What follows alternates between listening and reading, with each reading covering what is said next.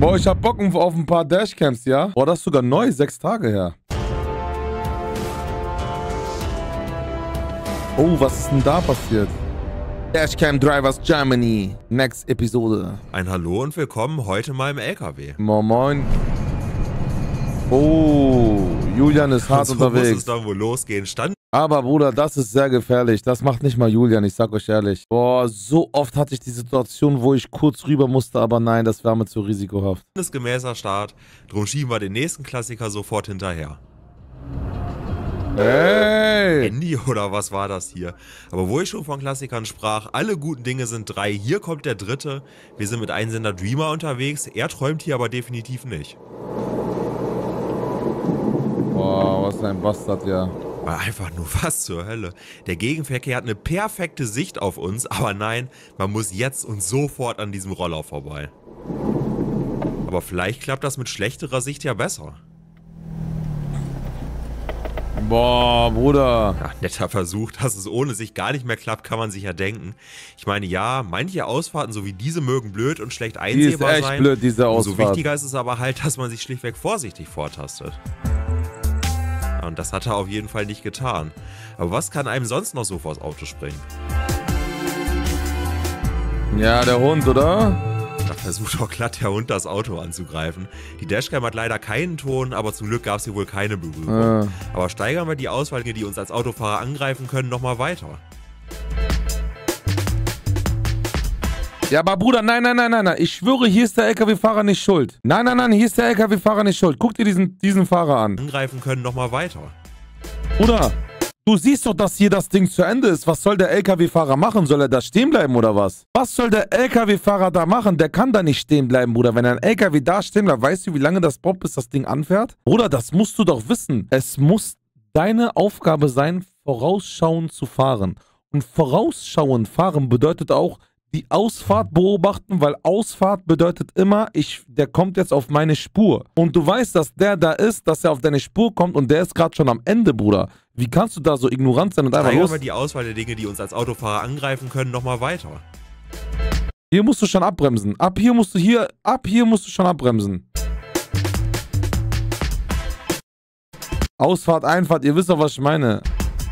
Es ist mir egal, ob der Autofahrer Vor Vorfahrt hat, Bruder. In dieser Situation, was soll ich machen? Gegen ein, gegen ein LKW, Bruder, das ist kein Spaß. Wallah, bei LKWs, ich respektiere die so hardcore. Weißt du, was passiert, wenn du dagegen knallst? Dieses Ding hier landet in deinem Gesicht, weißt du, ne? Bruder, LKW ist nicht so einmal so äh, Frontstoße. Das Ding geht durch deine Scheibe und de- dein Auto wird zum Cabrio. Ja, wenn man nett gewesen wäre, hätte man hier früh bremsen können, um den LKW reinzulassen. Kann man drüber sprechen, ja. Aber der LKW muss ja am Ende trotzdem immer noch den Verkehr beachten und vor allem, wenn es nicht passt, Vorfahrt achten. Solche Aktionen hier, die sind doch einfach völlig daneben. Er zieht hier mit der Brechstange ohne jegliche Rücksicht auf Verluste raus, zwingt uns zur Vollbremsung und schiebt uns, weil der Bremsweg kaum erreicht, dabei ja auch noch den Gegenverkehr rein. Diese Aktion hätte das Potenzial gehabt, richtig, richtig übel in die Hose zu gehen. Aber das ist ja nun die eine Sache. Wisst ihr, was mich an dieser Situation eigentlich erst so richtig wütend macht? Etwas mehr als eine Minute später passieren wir den LKW hier, weil der die Abfahrt nimmt. Welche Handgeste würdet ihr jetzt hier erwarten? Klar, natürlich eine Entschuldigung. Nein, er zeigt uns hier ernsthaft als Bonus obendrauf auch noch den Mittelfinger. Ja, wer Anstatt hier weiß. seinen Fehler zu erkennen, nein, er Ich sag dir safe, dieser Typ hat locker durchgehend gehupt, Digga. macht sich mit dieser Geste dann auch noch absolut lächerlich über uns. Und so ärgerlich das ja vielleicht auch sein mag, wenn man mit dem LKW nicht reingelassen wird, all das kann ich ja verstehen, weil natürlich beschleunigt ein LKW schlecht und aus dem Stand wird es natürlich nochmal schwerer. Aber mit dieser Einstellung, die der LKW-Fahrer hier an den Tag legt, vor allem die Aktion hinterher, die zeigt, dass es ihm halt wirklich komplett Nee. scheißegal ist, es tut mir leid, aber mit dem Verhalten Nee. hat am Straßenverkehr leider einfach nichts verloren. Ich bin beim LKW, Digga. Rechts von uns ist die Busspur und das sind aber auch wieder ja, sehr viele interessante Busse überall. Und hier rechts, all die Autos, alle stehen sie auf der Busspur. Vordrängeln auf der Busspur ist ja das eine, aber dann im Kreisverkehr.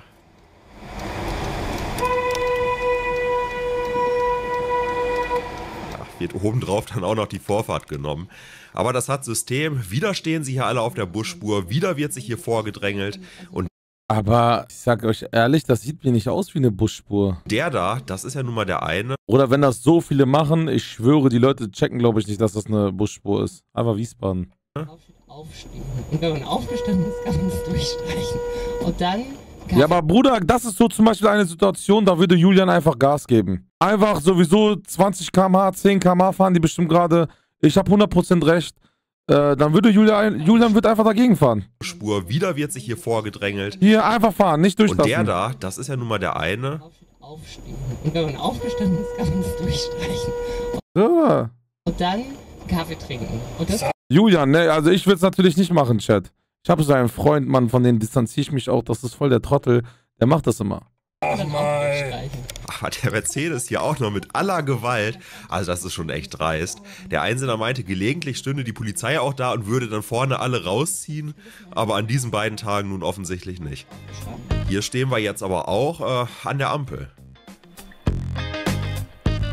Naja, so geht's natürlich auch. Oh. Nehmen wir jetzt hier noch einen anderen Einsender. Er heißt auch Kevin, es ist aber nicht der gleiche. Aber wir stehen ebenfalls an der Ampel. Tja, nur er, er tut's halt offensichtlich nicht. Ja, das ist echt asozial. Das geht gar nicht. Aber spulen wir noch ein Stück vor und selbst bei grüner Ampel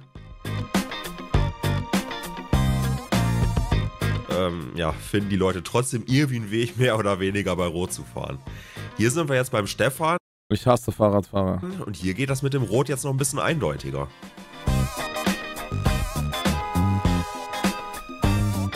Wo auch immer der Radfahrer daherkam, aber der kann kein Grün gehabt haben, spulen wir auch hier jetzt wieder ein Stück vor. Ja, bei manchen hat das mit den Ampeln halt auch einfach System. Aber wie der Zufall es so will, hier haben wir auch wieder einen anderen Einsender, der jetzt ebenfalls Stefan heißt. Denn alle guten Dinge sind ja bekanntlich vier. Wir spielen jetzt mal Suche den Radfahrer, der über die rote Ampel fährt. Alter, von allen Seiten kommen sie angefahren, aber ich sag's ja immer wieder, Autofahrer... Alter, Alter. Digga, die fahren alle über Rot. kommen sie angefahren. Das ist Julian und seine Bande, Chat. Aber ich sag's ja immer wieder, Autofahrer können es halt auch ganz gut. Am Ende ist es nicht unbedingt eine Frage des Fortbewegungsmittels, sondern vielmehr halt auch einfach eine Charakterfrage. Drum, wie schön ist es doch, dass der Charakter diverser Protagonisten in unseren Videos ja immer einwandfrei ist. Da vorne steht ein Auto.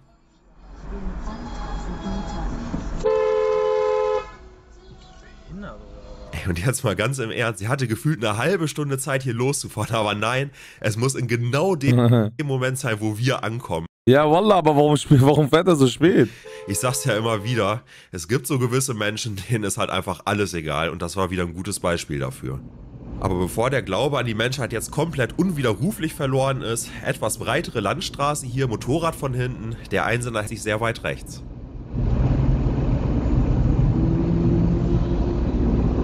Ja, wenn man innerhalb der Fahrspur den erforderlichen Abstand einhalten kann, zu Pkw ist es ein Meter, dann darf man auch innerhalb der Fahrspur überholen. Und der Motorradfahrer hat sich auch fürs Platzmachen bedankt. Ich hatte ja so eine Szene vor einiger Zeit selbst auch schon mal gehabt von mir. Auch da hat sich der Motorradfahrer bedankt. Bei sowas hier, da hat man auch hinterher den ganzen Tag gute Laune oder zumindest mal so lang, bis man halt dem nächsten Helden begegnet. Aber das ist ein gutes Stichwort. Da hinten schert einer zum Überholen aus. Und hinter uns wäre jetzt eine super Lücke zum Einscheren. Digga, was machst du da mit deinem Penner Audi? Digga, oh, ja. Digga, Digga, Man muss Digga. Halt durchziehen. Sehr zur Begeisterung des Gegenverkehrs. Junge mit seinen 100 PS, Alter. Aber durchziehen, das ist ein weiteres gutes Stichwort. Es geht um von das rechts kommende Moped. Moped. Ist es Moped oder Moped? Ich sag immer Moped. Tja, und da liegen sie jetzt. Das war wohl ein bisschen zu übermotiviertes Tempo für den abbiege Vorgang.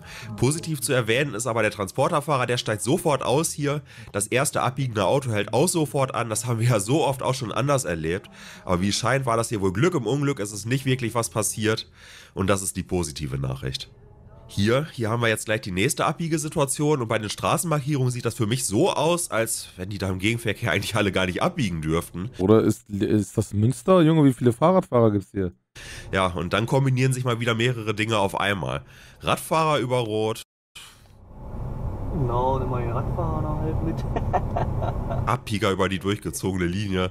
Ja, wunderschöne Situation. Hier stehen wir jetzt auch erstmal. Bahnübergang ist rot. Der Einsender hält ein Stück Straße frei, damit die von links kommenden einbiegen können. Und ich denke, das ist legitim, das kann man durchaus so machen. Aber jetzt kommen dann gleich zwei Sachen zusammen. Meine persönliche Meinung, das kann natürlich jeder anders sehen, darum meine persönliche Meinung ist, auf Ampeln und Schranken achten, gehen die Schranken hoch, Motor an, sofort bereit machen zur Weiterfahrt, weil wir wollen ja nicht alle ewig da rumstehen. Politiker erleben möchte, dann lohnt es sich, Bundesverkehrsminister Volker Wissing. Der Einsender träumt, wie ich finde, jetzt erst ein bisschen rum. Der Start ist sehr gut gelungen. Das Deutschlandticket wird stark angenommen. Wir haben deutlich steigende Abonnentenzahlen. Das kann man wohl sagen. Zahlen, die der Verband Deutscher Verkehrsunternehmen VDV Äh, jüngst veröffentlicht hat. Da geht's noch, oder was? Aber das, was der Einsender hier zu langsam war, ist der dann aber halt auch zu ungeduldig. Leute, wir werden doch schon immer irgendwie alle am Ziel ankommen, immer mit der Ruhe, aber ja, das sollte ich vielleicht nicht zu laut sagen. Boah. Was zur Hölle war das denn?